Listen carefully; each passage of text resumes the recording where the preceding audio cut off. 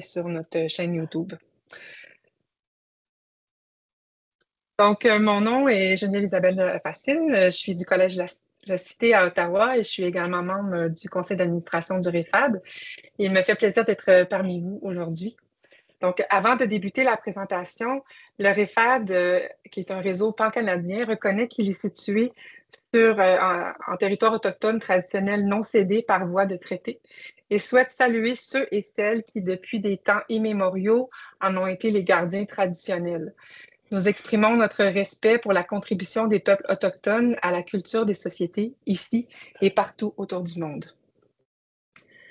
La présentation de cet atelier est rendue possible grâce à l'appui financier du gouvernement du Canada, du Secrétariat du Québec aux relations canadiennes et des membres du réseau d'enseignement francophone à distance. Merci à tous d'être présents avec nous pour cet atelier intitulé Oser les mécaniques de jeu dans vos formations. Donc, c'est avec plaisir que je vous présente nos deux conférenciers d'aujourd'hui. Donc, Sophie Caliès a accumulé 20 ans d'expérience dans les domaines de la conception technopédagogique, des sciences cognitives et des neurosciences de l'apprentissage, de l'intégration des solutions d'apprentissage en ligne, de l'intelligence artificielle et de la réalité virtuelle appliquée à l'éducation et à la formation. Elle a par ailleurs enseigné en ligne ainsi qu'en présentiel tant au niveau collégial, universitaire que dans le cadre de formation professionnelle. Elle en est actuellement, euh, elle est actuellement chargée d'encadrement à distance à l'Université TELUC euh, et elle est la cofondatrice de son entreprise Brainiac. Cédric Félicité est également le cofondateur de Brainiac. Outre la gestion et l'administration de l'entreprise, il est responsable de la dimension ludo-persuasive des ateliers et des projets.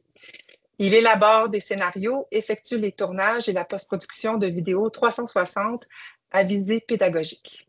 Donc, Sophie et Cédric, c'est avec un plaisir, euh, c'est un plaisir de vous avoir avec nous aujourd'hui et je vous laisse maintenant la parole. Merci beaucoup. Est-ce que vous m'entendez? Oui, on vous entend très bien. OK, parfait. Je vais juste lancer la présentation. On va vérifier que tout fonctionne. Est-ce que vous voyez la première, première écran? Oui. Parfait. Ben, bonjour à toutes euh, et à tous. Euh, euh, effectivement, je m'appelle Sophie Calias. J'ai pas réussi à changer mon nom dans Teams. Là, sauf c'est mon surnom. Mais mon vrai nom, c'est Sophie Calias. Et mon partenaire, Cédric Félicité, qui vous présente aujourd'hui cet atelier sur les mécaniques de jeu. Alors, ensemble, c'est un atelier introductif sur ce qu'est les mécaniques de jeu et comment on peut les utiliser dans vos formations et comment et pourquoi il faut les utiliser dans vos formations même. on ne va pas aller dans la précision forcément, mais on va quand même donner beaucoup d'exemples très concrets. Donc, on en parlera après. Si vous voulez plus de précision, il va falloir faire des ateliers plus, plus, plus personnalisés. Cédric et moi-même avons fondé Brainiac, qui est une compagnie qui propose différents services qui sont énumérés ici vous aurez accès à cette présentation, donc ne vous inquiétez pas, vous pourrez les regarder les, écrans un peu plus longtemps. Et nous avons également d'autres ateliers que celui-ci, notamment sur la scénarisation interactive qui pourrait vous intéresser si vous êtes intéressé par les jeux. Donc comment scénariser et comment rendre les scénarios interactifs dans les jeux.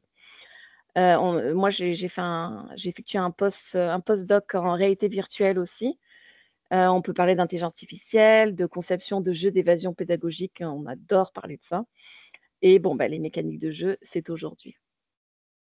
Alors, on va commencer par une petite activité brise-glace pour vous faire un peu participer. Ensuite, on va parler de genre et de support de jeu. Ensuite, on va définir ce que sont les mécaniques de jeu. Ensuite, on va présenter trois mécaniques de jeu concrètes que vous pouvez utiliser dans vos formations. Et enfin, on a des exemples de nos conceptions de, Brainiac, de nos contrats qu'on a eus avec nos clients. On en a trois et on verra lesquels on pourra détailler aujourd'hui selon vos intérêts également. Euh, moi, je n'ai pas de problème à ce que vous m'interrompiez si vous avez des questions.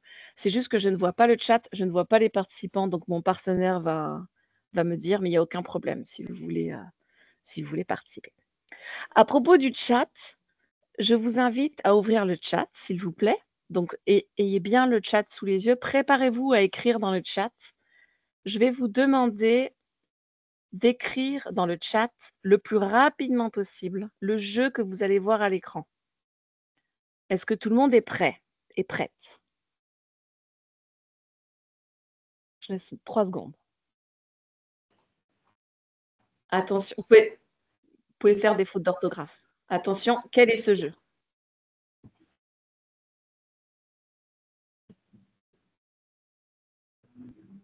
Caroline a répondu. Bravo, la Caroline. Assassin's Creed. Peut-être, Cédric, tu peux rajouter quel Assassin's Creed c'est exactement? Ah, Celui-là, c'est Odyssée. C'est euh, pas le dernier, là, mais, euh, c'est Odyssée, euh, avec notamment une option de, plus pédagogique. On en parlera après.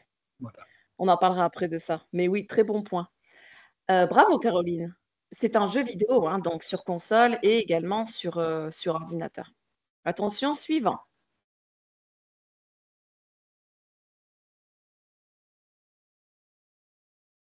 Il y a, eh ben dis donc, euh, Caroline, euh, vraiment fort.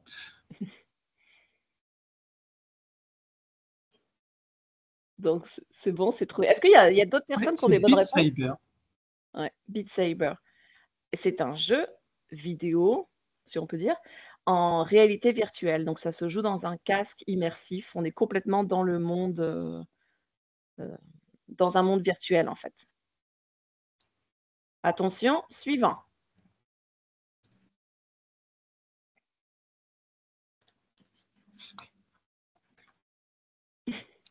Eh ben, on a euh, une gameuse parmi euh, les, les, participants. Caroline Fizet a encore la bonne réponse. C'est bien Donjons et Dragons. Tout à fait. Est-ce qu'il y a d'autres bonnes réponses quand même? Oui, oui, bien sûr. Euh, Fanny a bien répondu. Amanda ah, également. Très bien. Euh, ce n'est pas Minecraft. Euh, Amanda avait répondu Beat Saber également. Très bien. Alors oui, ça c'est un jeu. Oh. C'est un jeu de. Comment dire? Ce n'est pas classé dans les jeux de plateau, c'est classé dans les jeux de rôle, mais avec support physique. Parce qu'il y a quand même, il faut des dés minimalement, etc. Attention, suivant.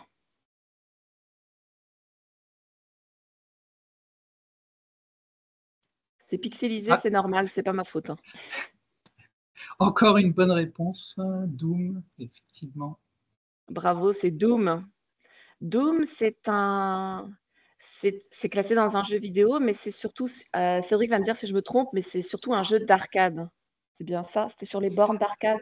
Euh, je pense qu'il est né sur les bornes d'arcade, mais c'était un des tout premiers sur ordinateur euh, qui a eu un, vraiment un gros engouement en termes de, Parfait. Attention suivant.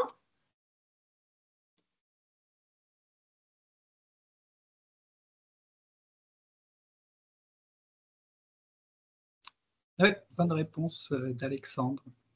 Bah, c'est Mastermind, mais on va se dire qu'il y avait une, une faute de frappe. Mastermind, oui. Donc c'est un jeu de. Un jeu. On peut même pas dire jeu de plateau là. C'est un jeu de. C'est un jeu. Suivant.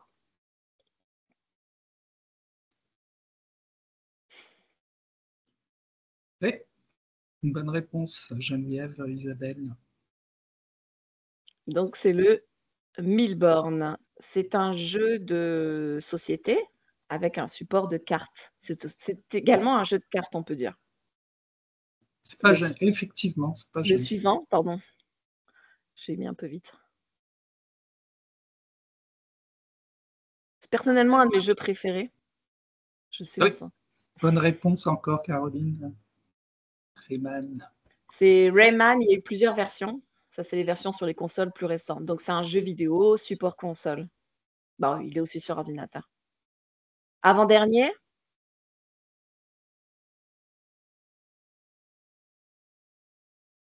Oui, bonne réponse, Alexandre une bonne réponse de collégiale, on va dire. C'est la toute première version, celle-ci, je me semble. Effectivement. Elle, a beaucoup de, valeur sentimentale pour moi parce que je jouais avec mon grand-père euh, avec ce jeu. Euh, oui, on jouait à ce jeu avec mon grand-père. C'est un jeu de société, support jeu de plateau. Jeu de plateau, En gros, ça veut dire qu'il y a un plateau, peu importe la forme, en général des dés, des pions. Et le dernier,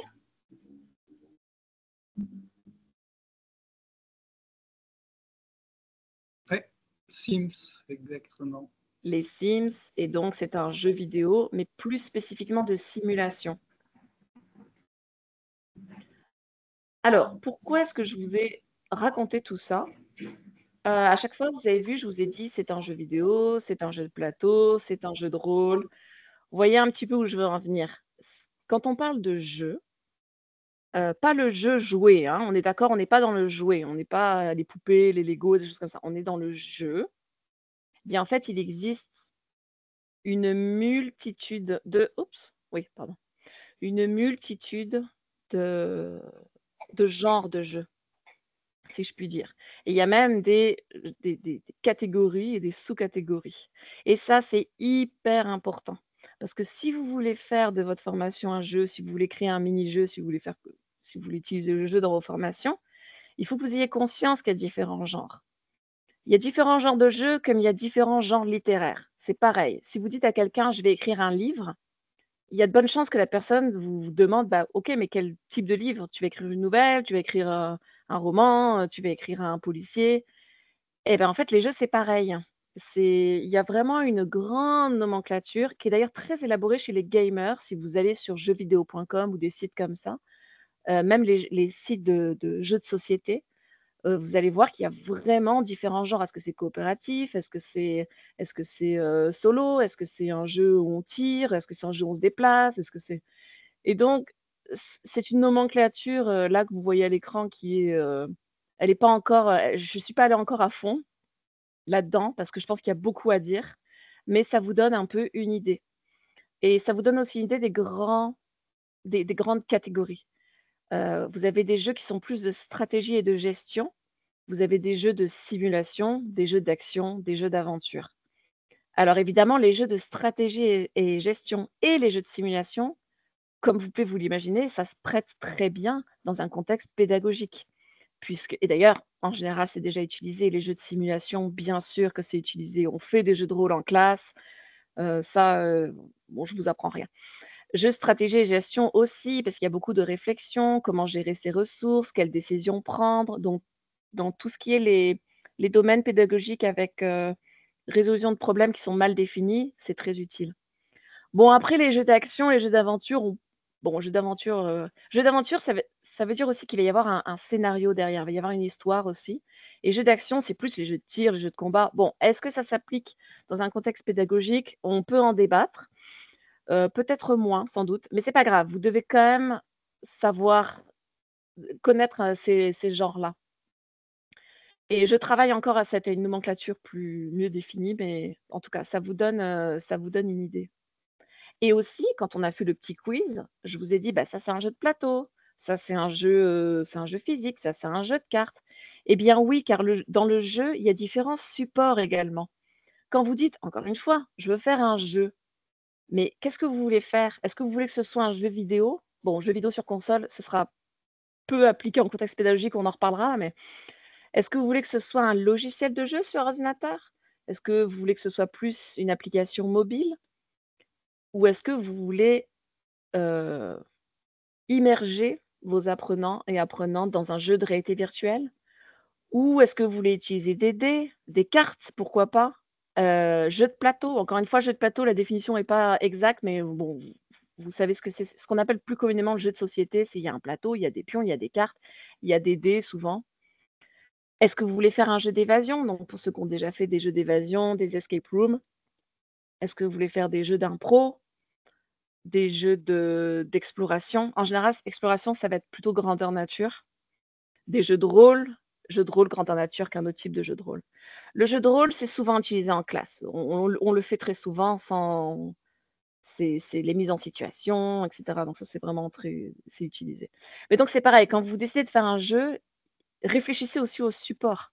Évidemment, quand on part dans les jeux de console, ordinateur, bah, c'est peut-être un petit peu irréaliste en formation. Mais on va voir qu'il y a quand même quelques outils. Ou est-ce que vous partez sur un jeu plus de plateau ou un jeu où on joue avec si je puis dire, notre corps, c'est-à-dire plus jeu d'évasion, jeu d'improvisation, jeu d'exploration. Alors, effectivement, il existe des outils pour faire des jeux, notamment tout ce qui touche aux jeux euh, numériques. Là, je vais vous en parler un petit peu. Vous m'arrêtez hein, si vous avez des questions. Euh, Cédric aussi, s'il y a une question.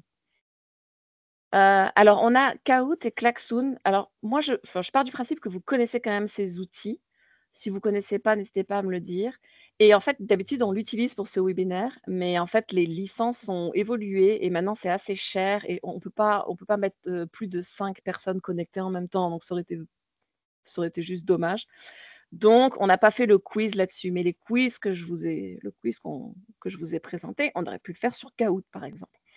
Klaxoon aussi a des quiz intégrés. Euh, donc, c'est dans la catégorie, c'est dans le, genre, si je puis dire, jeu de réflexion. Mais un quiz, c'est ludique. C'est ludique, surtout avec Kahoot, parce qu'il y a le système de points, il y a le système de tableau des scores. C'est ludique. Il y a les, éléments qu'on retrouve dans les, jeux. Ensuite, vous avez un outil qui est super, qui s'appelle Geniali. Ça aussi, je, pars quand même du principe que vous connaissez, vous en avez entendu. Ça permet de faire des formations en ligne. Ça permet de faire surtout des jeux, ce qu'on appelle, j'ai pas de traduction française, mais point, pointer et cliquer si vous voulez. Donc, chercher dans une image quelque chose. dans un contexte pédagogique, ça peut être très intéressant. Si vous avez, je ne sais pas moi, en anatomie humaine, par exemple, ou une scène, ou dans n'importe quel contexte, ça peut être quand même assez intéressant. Et vous pouvez faire aussi des jeux d'évasion numérique. Donc, en fait, on peut vraiment faire des, des, choses interactives. Vous cliquez un endroit, ça ouvre un autre écran et ça simule un peu le jeu d'évasion. Et je vous ai mis des tutoriels ici. Euh, à la fin, vous aurez accès à la présentation en PDF et vous, aurez tous les hyperliens. Donc, vous pourrez aller voir ça. Euh, je précise aussi que Geniali, ça fait un petit moment déjà, je pense que ça fait bien 2-3 ans, mais ils sont, euh, ils sont comment on dit ils, respectent le standard de SCORM. Donc, en fait, vous pouvez faire des expériences avec Geniali et les mettre ensuite dans des Moodle ou sur vos LMS respectifs. Donc, ça, c'est intéressant aussi. Et bien sûr, vous avez Articulate Storyline. Bon, je, pense qu'on ne le présente plus non plus. Pareil, vous pouvez faire beaucoup de choses avec Articulate. Alors, il faut s'accrocher un petit peu pour faire des jeux vidéo, surtout si vous voulez faire un système de score. C'est-à-dire qu'il va falloir programmer un, un, score qui se met à jour. Mais quand même, on trouve, euh, puis on trouve pas mal d'exemples qui sont offerts par Articulate, qui sont tous en anglais, comme vous l'imaginez. Mais vous pouvez aller voir les liens aussi que j'ai mis pour, euh, pour créer quand même des jeux, euh, des jeux. Alors évidemment, ces expériences-là, Kahoot et Klaxoon, c'est mieux pour le synchrone. Cela va de soi. Genially Articulate, c'est mieux pour la synchrone. Mais vous pouvez aussi faire une petite expérience storyline et la diffuser en synchrone. Enfin, on peut aussi euh, mélanger tout ça. Hein. C'est pas forcément parce que je sais qu'il y en a qui sont plus en synchrone, plus synchrone. Euh, et ça marche très bien en ligne aussi si vous êtes en hybride aussi. Et même si vous êtes en classe en fait. Kahoot peut utiliser en classe, bien sûr. Pour tout ce qui est jeux de plateau, jeux de cartes, parce que là, on vous a montré des jeux de plateau, vous avez vu, vous y avez Risk, il y avait Catan, des choses comme ça. Eh bien oui, c'est possible de créer des jeux de plateau dans un contexte pédagogique. Pareil, il faut s'accrocher un petit peu, mais ça peut être intéressant. Et là, vous avez plusieurs solutions. Soit vous prenez un jeu qui existe et vous l'adaptez à votre contexte pédagogique. Soit parfois, il y a des, compagnies qui offrent des templates aussi, ou vous reproduisez des jeux aussi, mais plus un petit peu à votre sauce aussi. Donc, euh, voilà. Est-ce que tout va bien pour le moment? Très bien. Alors maintenant, on va définir ce que sont des mécaniques de jeu. Ça, c'est vraiment important que vous parce que là, on a parlé de genre de jeu, on a parlé de, support. Donc, vous avez compris, il y a différents genres, différents supports, très bien. Mais maintenant, ce qui est très important dans un, jeu, la clé, c'est qu'il y a des mécaniques de jeu. Et en fait, dans un jeu juste ludique, pas pédagogique, les mécaniques, en gros, c'est ce qui, c'est ce qui euh, attise la motivation euh, intrinsèque de vos apprenants et apprenantes. En gros, c'est ce qui fait qu'ils ont envie de jouer. C'est des mécaniques qui sont, qui sont excitantes, on a envie de rejouer. Mais vous, dans un contexte pédagogique, vous allez devoir faire en sorte que ces mécaniques-là, en plus d'être ludiques, elles amènent votre apprenant et votre apprenante à atteindre votre objectif pédagogique. D'ailleurs, c'est tout un art et c'est toute la difficulté et c'est très au cas par cas. Mais là, au moins, on va voir ensemble la définition des mécaniques de jeu et euh, puis après, on verra comment les, appliquer avec quelques exemples. Donc, on a parlé de genre de jeux, les jeux de simulation, les jeux de, stratégie. si on va un petit peu plus précis, on peut parler de gameplay. C'est très difficile de traduire aussi. Je suis confuse, mais c'est difficile de le traduire. Le, gameplay, c'est vraiment la manière dont se joue le jeu, en fait. Donc, un, quelqu'un qui joue à des jeux vidéo, souvent on parle du gameplay. Ah, moi j'aime bien le gameplay, c'est cool, tu as des armes, tu fais tes, tu fais tes, améliorations d'armes. Le gameplay, c'est en gros, généralement, de quelle manière se joue le jeu. Et si, on va au plus précis, eh bien, on arrive aux mécaniques de jeu. Donc, les mécaniques de jeu, en gros, c'est tout ce que vous pouvez faire dans le jeu. Donc, ça va être un verbe à ne pas confondre avec les verbes d'objectifs pédagogiques, parce que c'est plus précis. C'est tout ce que vous pouvez faire dans le jeu. Est-ce que vous pouvez sauter? Est-ce que vous pouvez vous déplacer? Est-ce que vous pouvez tirer? Est-ce que vous pouvez détruire? Est-ce que vous devez éviter? Est-ce que vous devez euh, gérer votre stock? Pensez aux verbes hein, sans arrêt. C'est tout ce que vous faites en fait. Et les composantes de jeu, c'est tout ce que vous... C'est les petits éléments dont vous avez besoin pour faire ce que vous pouvez faire.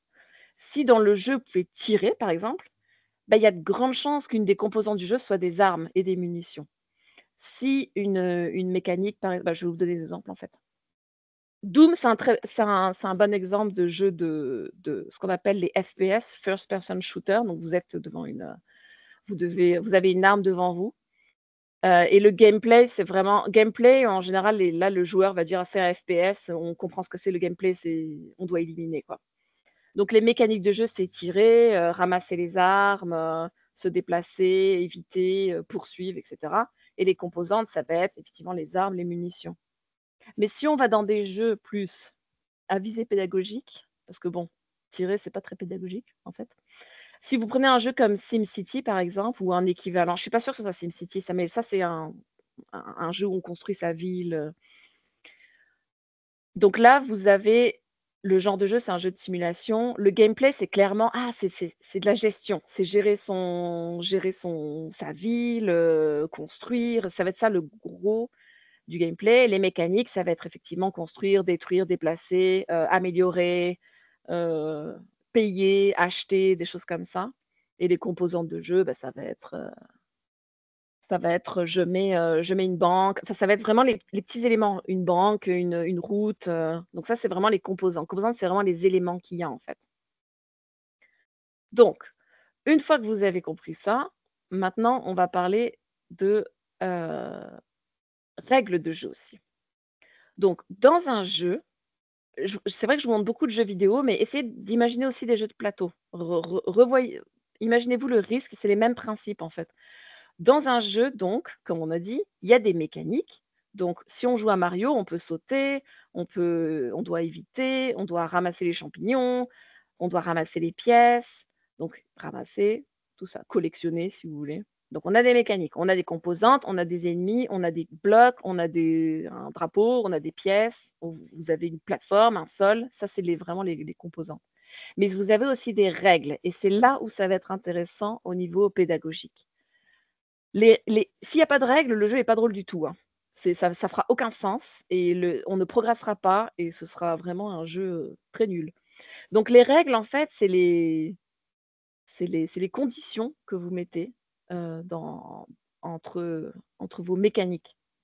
Donc dans Mario, les règles, il y en a plein, je ne vais pas toutes les dire, mais en gros, dans Mario, si vous tombez dans un trou, vous mourrez. Si vous courez vers un, un ennemi, vous mourrez parce qu'il faut lui sauter dessus. Ça aussi, c'est une autre règle. Il faut sauter sur l'ennemi euh, pour le tuer. Sauf s'il a des pics. S'il a des pics, il ne faut pas lui sauter dessus. Les blocs, il faut les, taper avec la tête par le bas ou par le haut. Bon, ça dépend. Et si vous attrapez un... Bon, vous voyez, si vous touchez un ennemi, que vous êtes grand, vous devenez petit, vous voyez un peu. Et tout ça, c'est des règles qui vont faire que le jeu est agréable à jouer et fait du sens. Et qui dit règle, dit, dit des, contraintes aussi, évidemment. Si, vous tombez et qu'il ne se passe rien, non, vous perdez une vie. Donc il y a des contraintes, il y a des conséquences positives et négatives. Et ça, c'est important aussi. Et c'est très important également dans un contexte pédagogique. Et donc, les mécaniques de jeu, ce sont un regroupement de toutes les différentes actions, comportements, contrôles que peut faire le joueur ou le système de jeu, parce que le système de jeu aussi a, un pouvoir, sur les composantes de jeu. Donc, les mécaniques, c'est tout ce qu'on peut faire, en fait, tout ce qu'on et qu'on ne doit pas faire aussi. Et les mécaniques de jeu sont articulées entre elles par des règles qui sont composées d'une condition et d'une ou plusieurs conséquences positives, négatives, neutres, pourquoi pas, sur les états du jeu. Donc, une fois que vous avez compris tout ça, eh ben, là, vous savez concevoir un jeu, en fait. Vous avez toute la base, euh, vous avez absolument toutes les bases pour le faire. Maintenant, dans un contexte pédagogique, il faut que tout ça fasse du sens, évidemment. Vous n'allez pas juste créer un espèce de Mario où il doit ramasser des pièces. Ça ne fera aucun sens. il va falloir que tout fasse un sens parce que vous allez avoir des objectifs pédagogiques en tête. Et là, vous allez vous dire, OK, quels éléments je devrais avoir? Qu'est-ce qui est le plus important pour moi? Parce qu'on ne pourra jamais tout mettre. C'est compliqué. Plus on met d'éléments. Hein.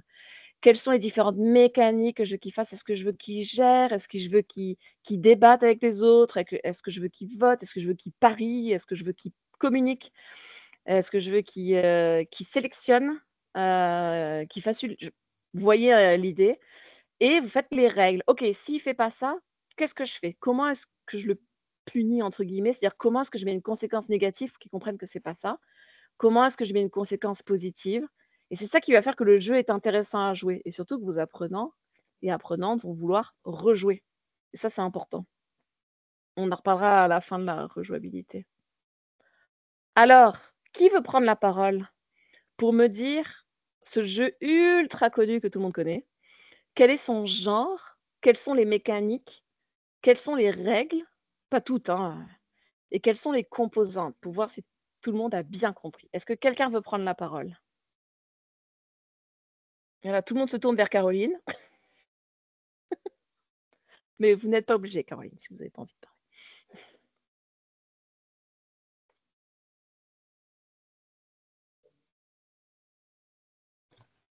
Il n'y a, y a pas fouille. Il n'y a pas de piège. Hein. Je ne vais pas vous manger.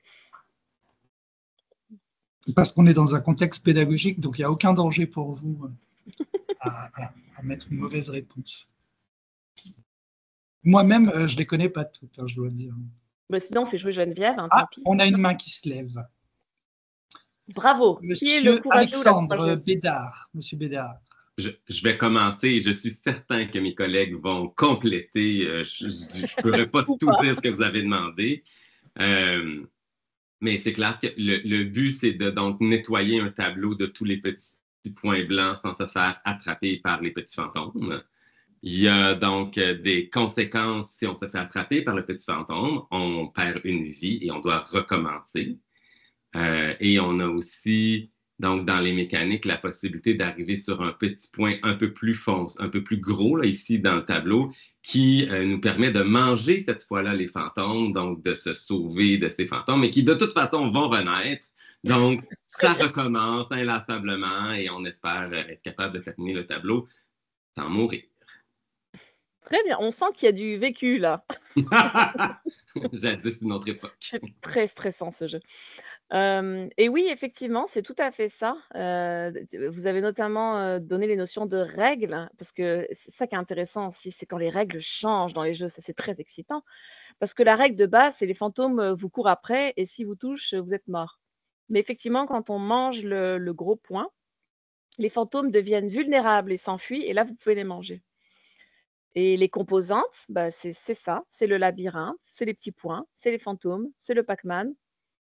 Et puis, il y a des fruits qui apparaissent à un moment donné de mémoire. Hein. Euh, voilà. Il y a des règles qui sont moins évidentes que d'autres. Par exemple, il y a une règle que si vous allez, je ne sais pas si vous voyez ma souris si je fais ça. Si vous allez sur le petit chemin à droite, vous réapparaissez de l'autre côté. Ça peut être très utile. Donc, c'est très bien. Et c'est exactement ça. Alors, est-ce que ça va remarcher? Ah On repart dans un quiz. Ça, c'est pour vous réveiller à nouveau. Alors, je vous présente un jeu et vous devez me dire quelles sont les mécaniques de jeu qui sont présentes dans ce jeu. Il peut y en avoir plusieurs. Alors, on retourne sur le chat. Est-ce que vous êtes prêts, prêtes? C'est parti.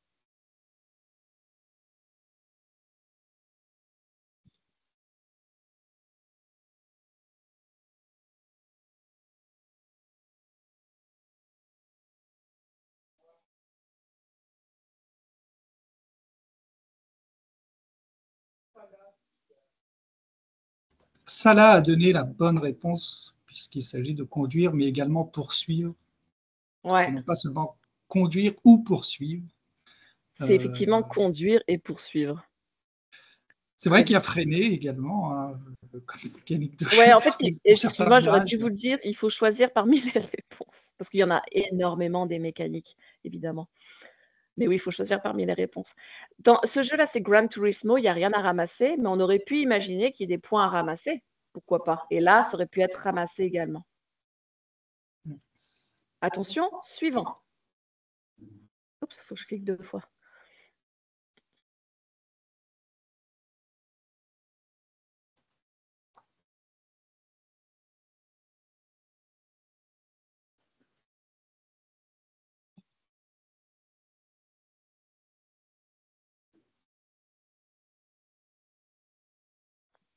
Il y a des bonnes réponses. il y a des 1, 2, 3 qui se, se déplacer, acheter. Mhm. Très bien. Beaucoup de bonnes réponses. Euh, acheter, se déplacer. Très bien. Alors, sauter, ça ah. peut être. Euh, excuse-moi. Sauter, euh, ça peut prêter à confusion parce que oui, quand on passe par-dessus un autre joueur, on, saute par-dessus lui, mais on. C'est vrai, j'accepte. Et ce n'est pas une science exacte. Hein. D'ailleurs, ça saurait. Ensuite, attention, euh, ça c'est quoi après? Ah oui, je l'avais oublié celui-là. J'ai essayé de mettre des jeux quand même assez célèbres euh, qu'on puisse être sûr que tout le monde a joué. Bonne réponse de Fanny. Détruire et manipuler. manipuler pour détruire. Euh, il y a d'autres petites subtilités où on a juste appuyé quand on a réussi à générer euh, une, ligne un peu plus conséquente que trois euh, joyaux, là, où il vous donne des pouvoirs un peu plus particuliers qui, en, simplement en appuyant dessus, vous permet de détruire plus de cases autour. C'est vrai, j'avoue que je ne le connais pas très bien, moi, celui-là. C'est pas mon préféré. Bon, attention, le suivant, c'est mon préféré. C'est un de mes préférés. soyez, soyez attentifs et attentifs.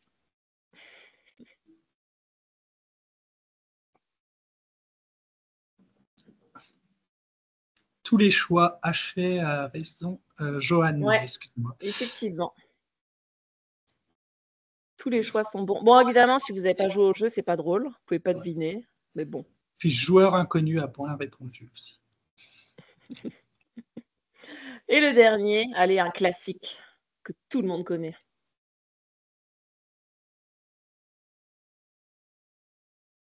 Oui, Alexandre, bonne réponse. Joueur inconnu aussi. Et Johan. Bonne réponse collégiale. C'est choisir. Bravo, vous êtes devenu très bon, très bon. Euh, et pour terminer, on va présenter trois mécaniques de jeu. Alors, c'est ultra simple, vous allez voir, il n'y a rien de compliqué. Mais bon, comme je disais, c'est un atelier introductif, donc euh, si vous voulez explorer plus, il faut faire des ateliers sur mesure. Euh, imaginons que vous êtes dans un contexte. Est-ce que tu peux juste te muter, Cédric, ça ne te dérange pas Excuse-moi. Non, c'est bon. Imaginez que vous êtes dans un, dans un contexte où vos apprenants et apprenantes doivent résoudre rapidement un problème. Alors, je ne connais pas tous vos domaines d'études, mais euh, admettons que ce soit des, euh, des, formations euh, paramédiques ou des formations, n'importe quelle formation dans la gestion de crise, où il faut résoudre rapidement un problème. Bah, une, une, une composante clé de, cette mécanique, donc la mécanique, c'est je dois résoudre rapidement un problème. Mécanique, verbe, résoudre rapidement un problème. Quelle composante vous avez utilisée? Bah, en fait, C'est tout simple, vous allez, vous allez utiliser le compte à rebours. Et alors, ça a l'air bête comme chou, mais en fait, dites-vous que c'est extrêmement puissant. Et ceux qui ont fait et celles qui ont fait des escape games le savent. C'est euh, c'est prenant. C'est prenant d'être, d'avoir un, d'avoir une, une, horloge, un time, un compte à rebours affiché dans la pièce. Et ça vous permet en fait, dans les escape rooms, c'est très bien utilisé, mais je trouve qu'en classe, c'est très bien utilisé aussi, ou même dans une formation en ligne, on peut très bien avoir un compte à rebours sur un écran, pourquoi pas. ça permet en fait de mobiliser. corps et âme, si je puis dire, toute l'attention de vos apprenants et apprenantes. En gros, oui, ça les, met dans une certaine forme de stress, on ne va pas se le cacher. Donc, à, utiliser avec quand même précaution, mais, mais, c'est super parce que vous avez un engagement ciblé qui dure pas trop longtemps, une minute, dix minutes, 15 minutes, une heure si vous voulez, mais vous les mobilisez. Vous faites une tâche, on est chronométré. Nous, on a même acheté un timer comme dans les films, en fait. C'est une, longue barre comme ça, avec, et ça bip quand, quand, ça atteint. Enfin bref. Et si, si, vous procurez ça, ça coûte, je sais pas, on a payé ça 30 dollars sur Amazon. C'est encore, encore plus stimulant, je trouve.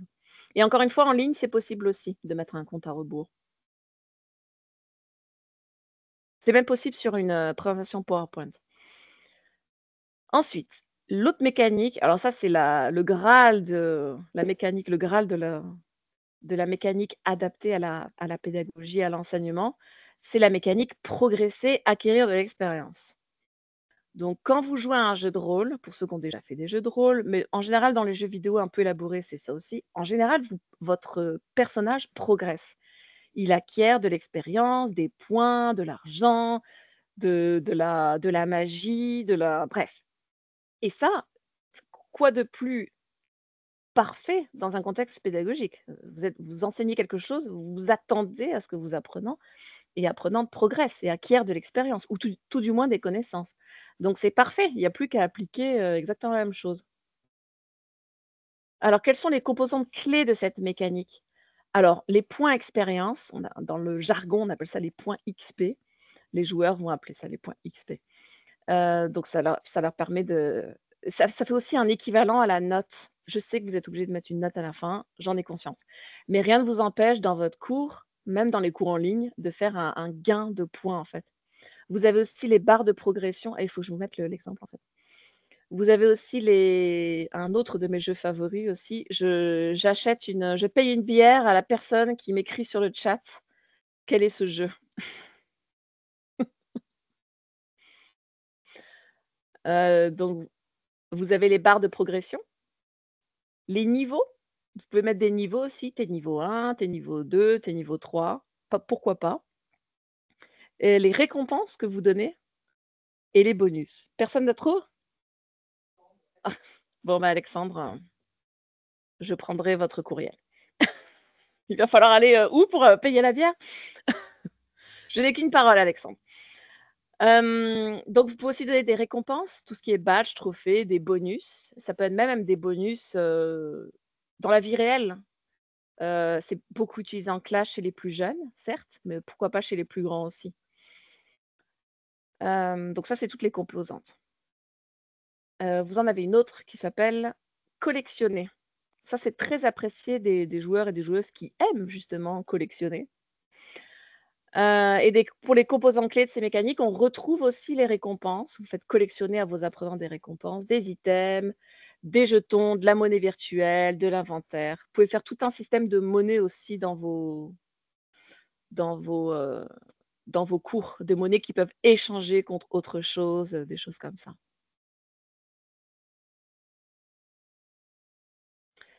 Euh, ça, c'est mon dernier écran. Après, on va voir si on a le temps, on, checkera le temps euh, pour voir si on a le temps de, de parler de nos expériences à nous.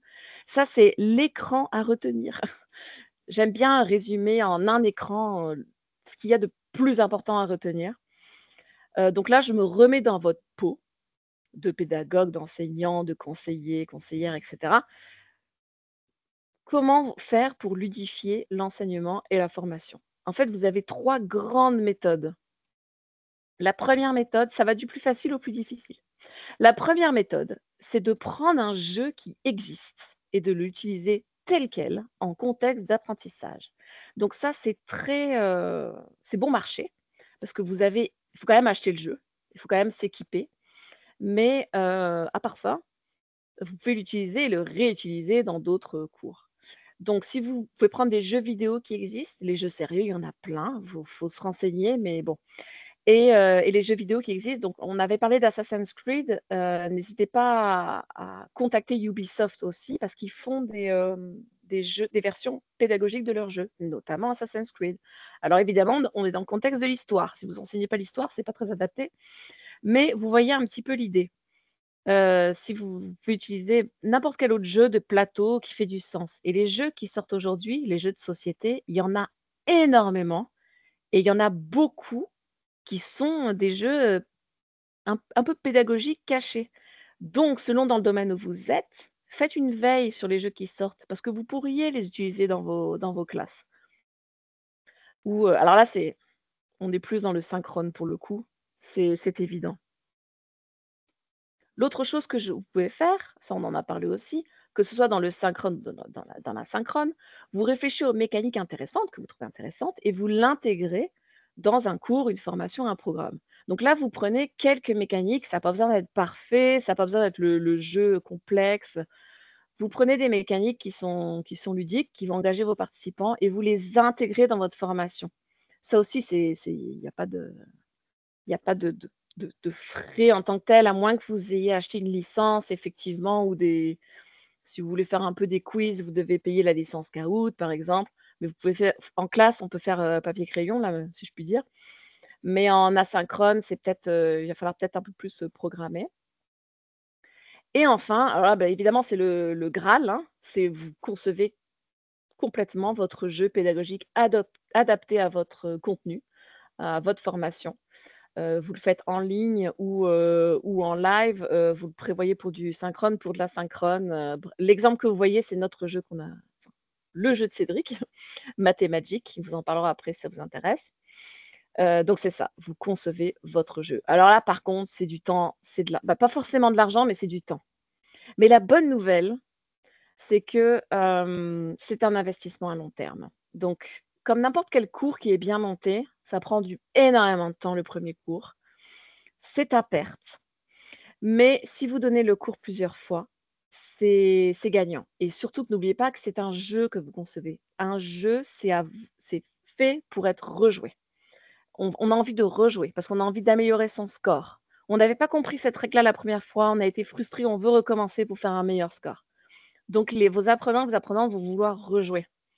Ce n'est pas toujours le cas d'un cours. C'est rare qu'un apprenant dise à la fin d'un cours Ah, j'ai trop envie de refaire ce cours. Ça arrive, mais pas tout le temps. Tandis qu'un jeu, euh, ça porte plus à ce qu'on appelle la rejouabilité. Voilà.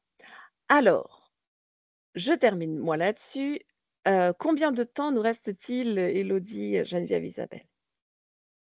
Parce que je n'ai pas de notion du temps. Oh là, il ne reste pas beaucoup. 15 minutes. ok. Alors, on a, je vais vous résumer, je vais vous présenter les grandes lignes des trois expériences qu'on peut vous présenter. Parce que ça dépend aussi de si vous êtes avec des jeunes adultes, si vous êtes avec des enfants, ça va peut-être pas forcément tout vous intéresser. La, numéro une, c'est avec euh, Défense Canada c'est un jeu de simulation sur mobile pour apprendre les langues avec un, scénario narratif. Ça, c'est la numéro une. La numéro deux, c'est une, expérience de visite virtuelle de la bibliothèque de l'Université de Montréal. Donc, avec, euh, c'était voué à se mettre, on se met dans un casque et on visite virtuellement. Puis, il y avait un petit peu des, éléments de jeu. Ça, c'est la 2.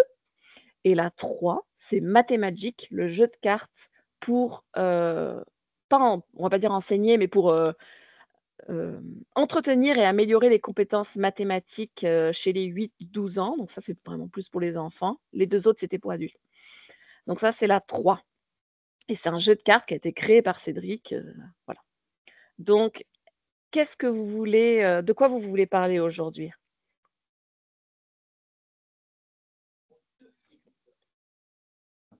C'est deux qui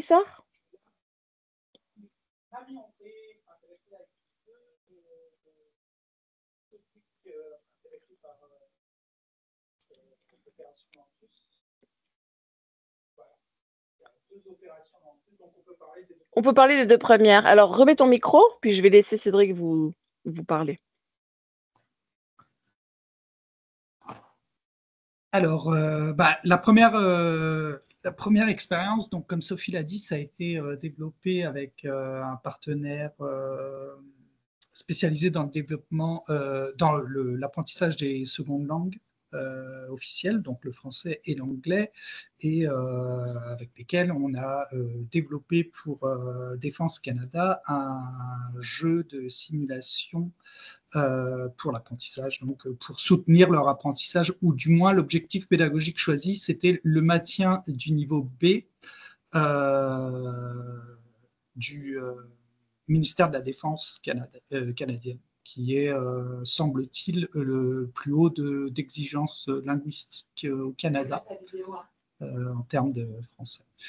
Donc, c'était un, projet vraiment intéressant parce qu'il il fallait prendre en compte ce qu'on appelait à l'époque, je ne sais pas s'ils ont changé le terme politique, mais des composantes ACS+.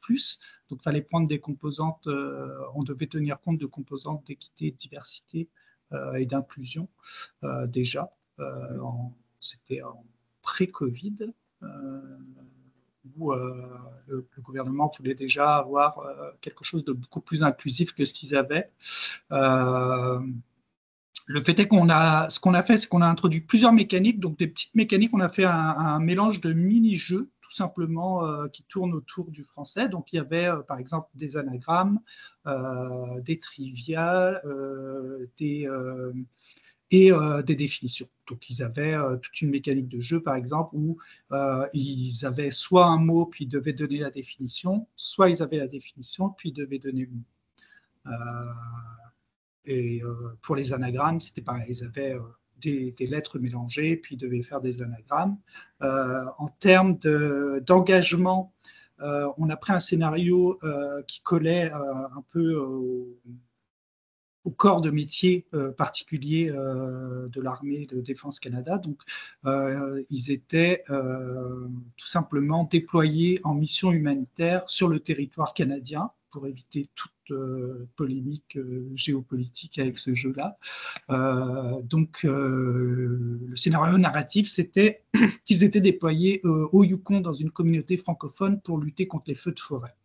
Euh, parce que euh, en termes de réalisme, les interventions canadiennes euh, ne se font au Canada en termes humanitaires que pour les feux de forêt, les inondations ou les cas de pandémie. étant donné qu'on était en pleine pandémie, on a évacué ce scénario-là, parce qu'on était en plein dedans. donc on a sélectionné les feux de forêt et et euh, bah, ça a été un peu prédictif, puisque un an plus tard, ils étaient déployés euh, en Colombie-Britannique pour lutter euh, contre les feux de forêt, justement. voilà, donc ce qu'on avait fait, c'est pour mettre un peu plus d'interactivité entre les joueurs, on les avait répartis en quatre équipes qui, devaient s'affronter lors d'événements hebdomadaires. Donc là, ce qui était important de faire dans, cette simulation, c'était euh, ce qu'on avait introduit comme, euh, comme gameplay mécanique, c'est que sur une année civile, à chaque jour, ils devaient pratiquer au moins 20 minutes euh, de jeu, ça c'était l'objectif, pour se pratiquer en langue, et ils avaient la possibilité d'une part de jouer en mode solo, et d'autre part d'affronter d'autres joueurs de la communauté de l'armée. Euh, et, après ça, ils ont. Euh, merci beaucoup, Caroline. Euh, et après ça, à chaque fin de semaine, il y avait un tournoi d'organiser pour, pour que les. et un classement effectué de manière hebdomadaire et mise à jour hebdomadairement pour stimuler l'émulation entre les, les, les apprenants. on a également introduit puisqu'on a fait ça sur une année euh, annuelle, ce qu'on a fait, c'est qu'on a, on a synchronisé ça avec des événements liés à tout ce qui est euh, francophonie. Donc, dès qu'il y avait un, événement euh, lié à la francophonie, ils avaient une petite notification sur leur téléphone cellulaire qui leur disait aujourd'hui, par exemple, au Yukon, la journée de la francophonie, c'est le 15 mai. Donc, le 15 mai de l'année en cours, ils reçoivent une notification pour leur dire aujourd'hui c'est la journée de la francophonie au Yukon, voici pourquoi, euh, un petit historique, ils avaient le droit à une base de données euh, qui se débloquait au fur et à mesure euh, de, de l'année et de leur apprentissage. Et à la fin de la semaine, ils avaient un quiz relativement à cette base de données francophone, parce qu'on voulait en plus ajouter une, couche de culture francophone et pas seulement uniquement le, contexte d'apprentissage de la grammaire, de la conjugaison. Voilà. Ouais, on va passer à l'expérience suivante, qui là est une visite virtuelle tout simplement euh, de la bibliothèque d'enseignement euh, de l'UDM. Euh, ça a été fait dans un cadre d'un incubateur du centre de pédagogie universitaire de l'Université de Montréal, pardon, où il, il, souhaitait développer des expériences virtuelles en biologie, en enseignement et en soins médicaux. Donc là, ça consistait à permettre aux étudiants euh, avant de se déplacer euh, physiquement euh, à la bibliothèque, de s'approprier les lieux et de savoir s'orienter assez rapidement au sein de, la bibliothèque pour pouvoir découvrir les services et, tout ça. Donc là, tout simplement, on a fait des prises de photos 360 sur les lieux et après, avec le logiciel Unity, on a juste ajouter euh, des, points interactifs et du texte, euh, ainsi que des vidéos. Donc voilà, pour rendre ça un peu plus réaliste, on a essayé de, vraiment, euh, en termes d'agencement, de faire cheminer le visiteur comme s'il entrait vraiment sur les lieux. Donc on ne pouvait pas, par exemple, passer directement du, de, de l'entrée au troisième étage parce que virtuellement, ce n'était pas ça. On voulait vraiment leur donner euh, la sensation de se déplacer dans les locaux pour qu'ils puissent vraiment s'orienter et, euh, de savoir euh, où se diriger tout de suite. Puis, il y avait une présentation de tout les, le matériel didactique qui était à la disposition des, étudiants et des professeurs qui voulaient utiliser les services et, les lieux de la bibliothèque. C'est vraiment un beau projet, euh, celui-ci. Si vous avez des questions, n'hésitez pas. Hein. Oui, c'était Unity. Unity, ça fait peur, mais en fait, il y a quand même beaucoup de tutoriels. Ça vaut le coup de, mettre le nez dedans, quand même. Et pour les jeux vidéo, c'est pareil. Ouais, euh, là, c'est vraiment euh, bah, c'est quelques heures d'auto-formation, je dirais, mais vous avez tous les logiciels, vous, vous avez un petit pack euh, que vous trouvez euh, normalement sur YouTube, euh, sur la chaîne de Unity, quand ils vous présentent la capacité, les fonctionnalités de leur, leur, moteur de jeu pour faire des vidéos 360. Il y a déjà quasiment tout le programme qui run, et puis vous avez juste à substituer vos photos aux photos qu'ils ont mis. puis après, c'est quelques petites recherches. notamment pour introduire, là on l'entend pas, mais il y a, il y a un petit il y avait le son, une petite musique d'ambiance.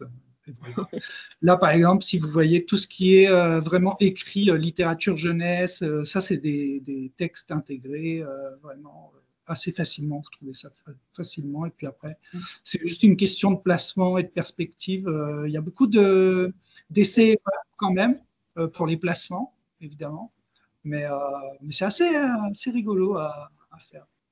Et c'est un outil qui est utilisé seulement avec des photos ou on peut prendre une vidéo qui a été faite par une caméra 3D? On peut faire des vidéos. Mais après, après c'est lourd. Là, ça a été embed, ça a été pardon, exporté pour leur site web. C'était assez lourd. Je ne sais même pas s'ils ont réussi à l'intégrer à leur site web c'est sûr que c'est beaucoup plus facile quand on fait une expérience de réalité virtuelle avec un casque. Euh, si on... Parce qu'après, il faut, quand même avoir. Il euh, faut, se rendre compte que c'est quand même lourd. Comme... Ah, on a une question euh, de la part de Joanne. Hmm, je vois la mécanique de visiter, explorer mmh. avant mmh. d'y aller. Mm-hmm. Mais est-ce qu'il y avait une mission ludique qui était proposée pour les invités? Par exemple, vous devez vous rendre à telle place. Euh, il n'y avait pas de scénarisation parce que c'était vraiment euh, dans un contexte de, pré. Euh, là, là c'était vraiment un contexte de valorisation de la bibliothèque. Il n'y avait pas d'enjeu. c'était vraiment dans le cadre d'un pilote on a fait d'autres expériences, comme je le disais, on a fait une visite de la station de biologie de Montréal où là, le contexte était plus intéressant parce qu'elle est quand même à une heure de Montréal. Tout le monde n'est pas capable d'aller se visiter là-bas, mais pareil, c'était aussi dans un contexte promotionnel. Euh, mais il y aurait pu, il y aurait pu avoir des, un jeu. Ouais. Ça, aurait pu, c'est juste qu'on ne nous l'a pas demandé, mais effectivement, on peut très bien faire un jeu de piste, on peut très bien chronométrer le premier qui se rend à telle place, par exemple. Ou... Mm. Bah, par exemple, euh, dans le contexte de photographie, euh, avec euh, plus un contexte pédagogique, j'en discutais tout à l'heure avant qu'on commence avec Geneviève Isabelle. pour le collège La Cité, on a fait une expérience, mais là, c'était avec un logiciel qui s'appelle Affinity Learning. Euh, une plateforme qui est développée par une, entreprise torontoise, une jeune entreprise torontoise. Et là, euh, c'était pareil, c'était euh, un ensemble de photos 360 où on avait intégré des images d'une personne victime d'un quelconque accident chez elle. Et là, c'était une simulation où le paramédic se déplace chez, la victime parce qu'il a reçu l'appel et devait poser des questions, en fait poser le diagnostic différentiel poser les bons gestes, puisque un paramédic doit euh, fouiller euh, ou du moins prêter attention à certaines choses sur les lieux, parce que ça peut influencer le diagnostic. par exemple, là, on avait fait plusieurs scénarios, mais un scénario où la personne consommait énormément d'alcool, puis prenait des médicaments sans dire qu'elle prenait ces médicaments-là ou des compléments alimentaires. voilà, donc il y avait tout ce contexte-là où la personne, ben, on avait fait tout stagé, on avait loué un appartement euh, Airbnb. Euh, et puis là, on avait stagé, on pouvait cliquer, ça ouvrait le placard, on voyait les bouteilles. Euh, la, personne pouvait cliquer sur la, la, victime. Et puis là, c'est un chatbot qui prenait le relais et on posait les questions. Le chatbot répondait ou alors plus facilement, la première étape, c'était une série de questions apparaissait, puis il y avait un choix multiple, puis en cliquant, il y avait un scénario à, embranchement qui disait qu'on évoluait jusqu'à pouvoir donner le diagnostic et ramener euh, le patient à l'hôpital, l'expérience se terminant aux urgences lorsque le paramédic fait son rapport à l'infirmière de triage. Euh, voilà. Donc là, c'était une expérience complète. Merci beaucoup, euh, Cédric et Sophie. On, arrive euh, à l'heure. Euh, il y a beaucoup de gens qui commencent à écrire, qui doivent retourner à leur travail. Donc, je, oui. Donc, je, vous remercie pour cet atelier très participatif. donc, on invite, on vous invite tous à répondre au questionnaire de satisfaction que Elodie a déposé dans, la, dans le clavardage. L'atelier d'aujourd'hui sera mis en ligne sur notre page YouTube et sur notre site Internet dans les prochains jours. Euh, nous espérons vous revoir pour le prochain atelier du 30 octobre prochain intitulé L'inclusion pédagogique, pistes de réflexion et stratégies pour soutenir l'apprentissage de toutes et tous avec Marie Sullivan et Jean-Pascal Baudouin de l'Université d'Ottawa. Donc, je vous remercie et je vous souhaite une bonne journée. Merci. S'il y a d'autres questions, n'hésitez pas. Hein. Alexandre, est-ce que tu as mis ton courriel?